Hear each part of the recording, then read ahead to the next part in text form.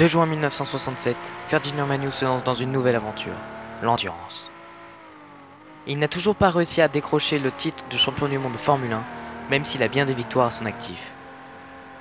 Peut-être c'est qu'il cherche toujours la victoire, ce qui le poussera d'ailleurs trop de fois à la faute, alors qu'il pouvait engranger des points intermédiaires, comme dirait un certain Enzo Ferrari.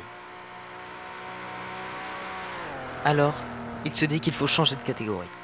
Mais qui faudrait bien engager un pilote qui finit trop souvent dans le décor Car l'endurance, ce n'est pas qu'attaquer pendant une trentaine de tours et finir dans un fossé ou dans un rail de sécurité parce qu'on a repoussé trop les limites. L'endurance, c'est la régularité, la patience. Certes, il faut une part de talent, mais il faut surtout penser à son équipe. À cette époque, les pilotes n'étaient que deux pour couvrir les nombreux kilomètres que comptaient les courses. Et cela, mon grand-père avait du mal à l'apprendre.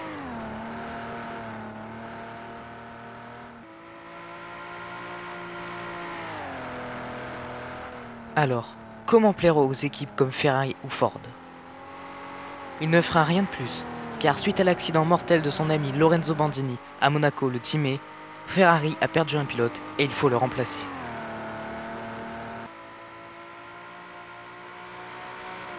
Et c'est là que Enzo Ferrari se pencha sur mon grand-père. Alors certes, il n'est peut-être pas le meilleur dans ce domaine, mais il pourra progresser et apprendre de ses erreurs.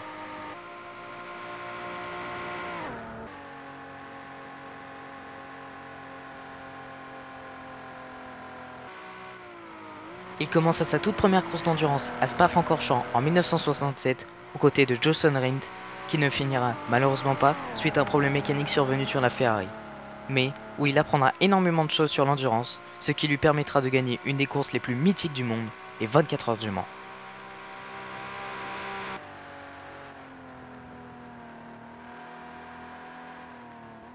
Il rencontrera pendant cette course une très jolie dame qui deviendra par la suite sa femme et qui, avec, aura deux enfants. Lorenzo, en hommage à son ami italien décédé, et Henri, qui deviendra lui aussi pilote de course.